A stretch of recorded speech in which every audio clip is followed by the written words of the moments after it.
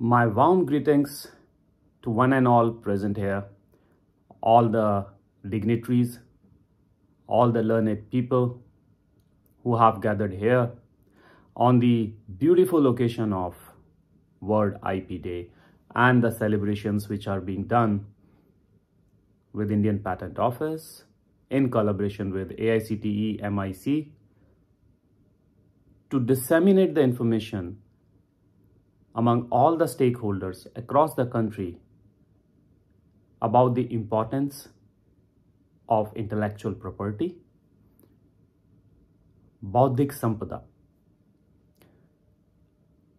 As I always say, no country can ever ever reach to become a robust economy until and unless that country moves forward and works genuinely and seriously in protecting the IP.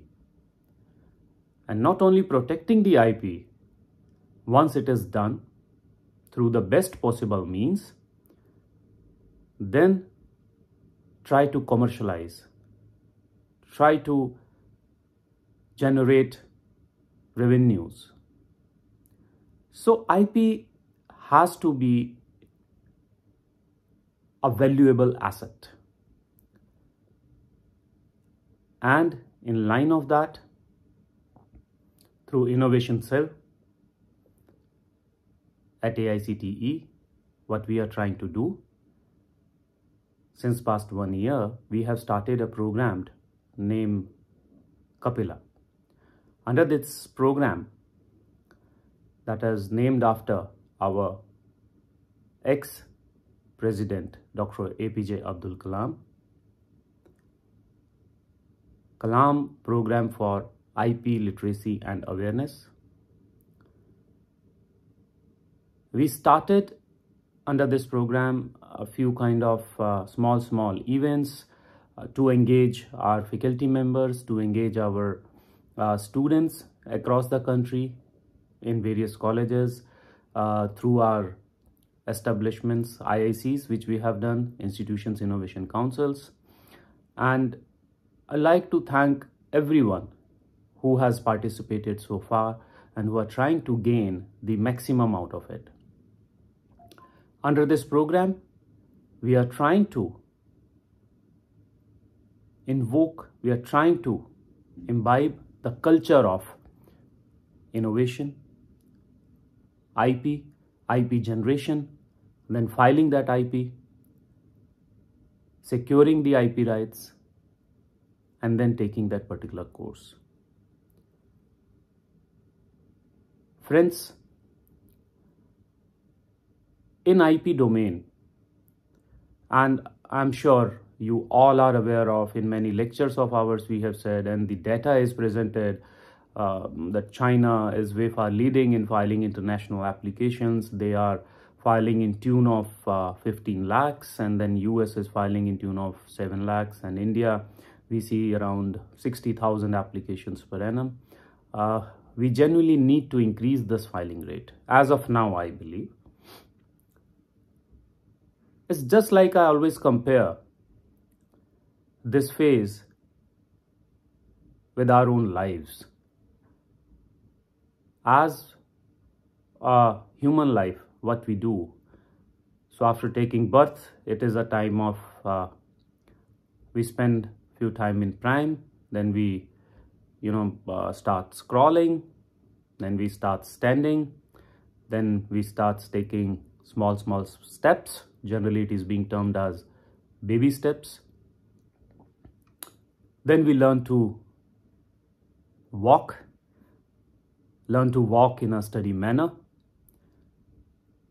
And then we starts running, sprinting, running, and take the lead. So these are all a kind of phases.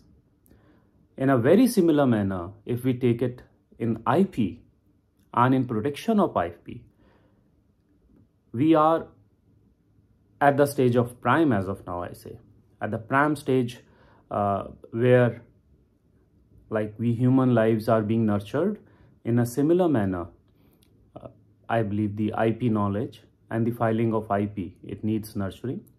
It may take another few years where we all will understand what is to be done and in what manner. It's again similar, just like learning by the experience. Many people say that uh, we, what will happen when we are going to increase the number of filing. So I very candidly say, let's increase the number of filing today. Down the line tomorrow, we'll understand what to file. Down the line next year, we will understand what not to file. Down the line another year, we will understand what has to be there in that application.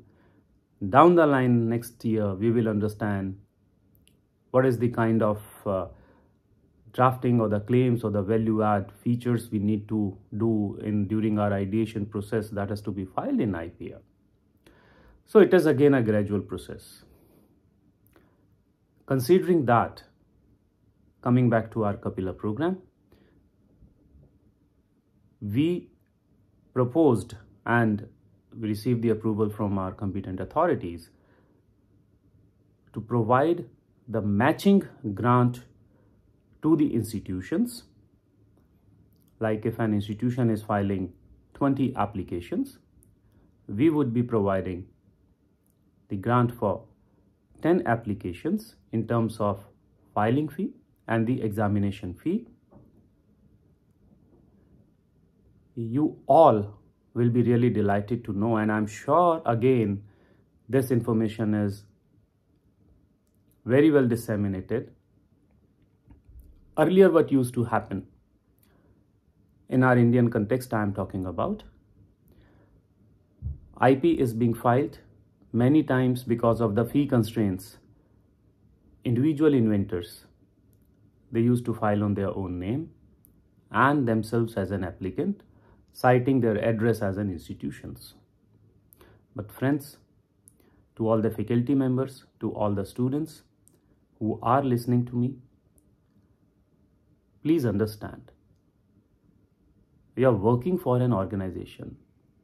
And if an IP is being generated by utilizing the infra of that organization, applicant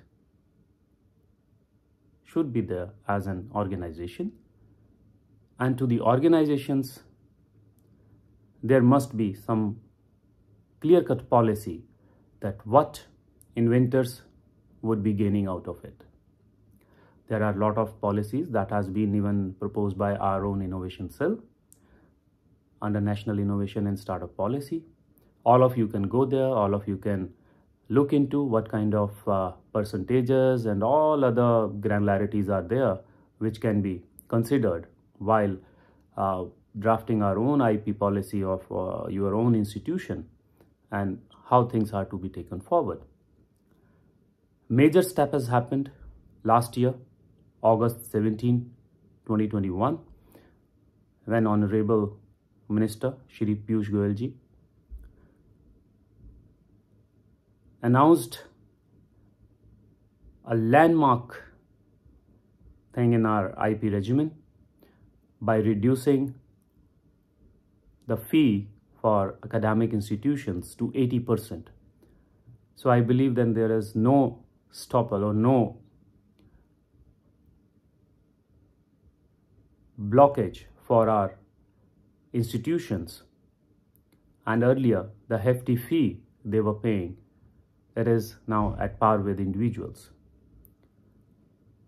We need to join hands together. We need to understand the critical nature of this whole IP regimen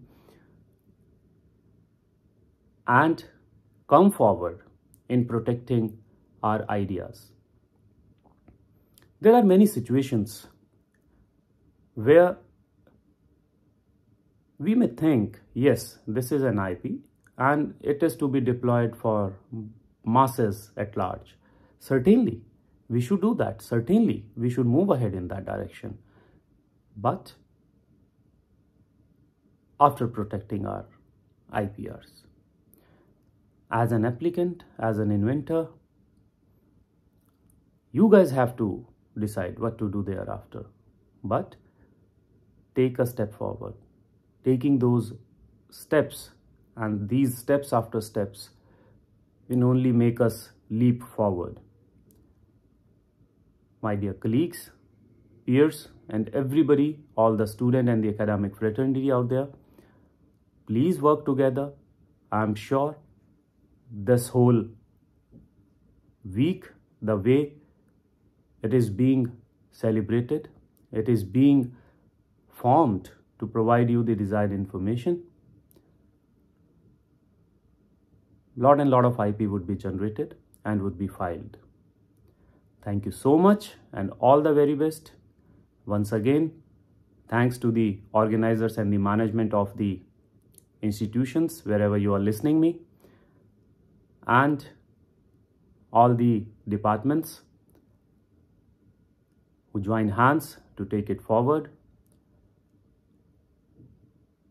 My colleagues, Professor Unnat Panditji, Dr. Abhay Jere, our higher authorities, Professor Anil Sahasrabudhe, Professor MP Poonia, Professor Rajiv.